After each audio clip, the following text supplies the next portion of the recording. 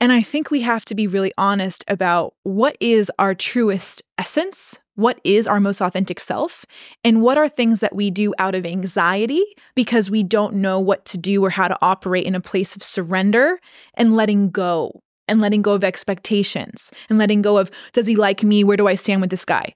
I think one of the most powerful things and this, this is my next hot take one of the most powerful areas in a relationship between men and women in early dating is when the man doesn't know what is going on. When a man doesn't know where he stands with a woman because she's not constantly available. Because you aren't getting into a routine where every time the guy texts, Hey, can you want to hang out in two hours? And the woman's just there. I think if you were to create some positive tension, and this isn't by playing games or doing anything intentionally, it's just you are so busy and in love with your life as a woman that you're not constantly available. You're not going to bend over backwards to fit into his schedule. He should be bending over backwards to fit into yours.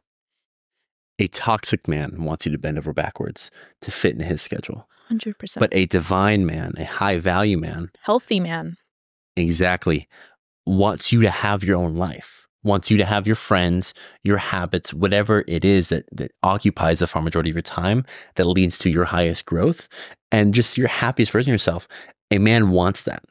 He wants to be an addition to your life. He doesn't want to become your life. Mm. And I believe that's the same for most women. If a woman were to text, When are you free? and the guy's like, Yeah, whenever. Yeah, anytime. It's kind of a red flag there. Like you don't you're not doing something with your life. You don't have plans, you don't have a schedule, you don't have business, you don't have anything. Mm-hmm. Just whenever. Mm-hmm. Again, it sounds like they're both on welfare. it sounds like they had nothing to do all day. They, Mm-hmm. they bring no value to the world. And therefore, we both believe, men and women, that if we're not bringing any value to the world, we're not bringing value to partner or the lover. And so I, I think you're spot on with this. That's a controversial take for most people here, but I think what you said is spot on. Do you find so let's take our relationship into this one a little bit Mhm. when men secretly love the chase, a healthy chase Mhm. of not knowing where they stand. Now you can agree agree or disagree with me, but I do think in our dynamic, it's a perfect example of me being a woman who had a full life and a full schedule and was busy doing things I truly enjoyed. I wasn't playing any games. I wasn't telling you I wasn't free when I was like eating bonbons on the couch, even though that's perfectly acceptable and I could absolutely have done that. I just had a full life. So when you would reach out and invite me to things, I just genuinely couldn't go.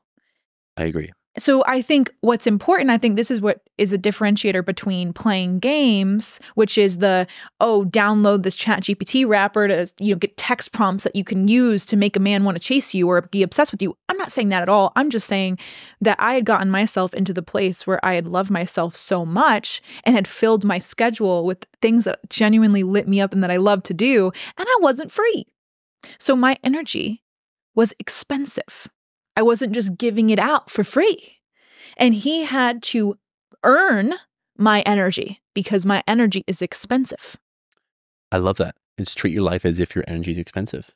But this is the problem that I see happening over and over again because people hear this and they're like, oh, okay, men want the illusion or women want the illusion that my energy is expensive when it's actually dirt cheap.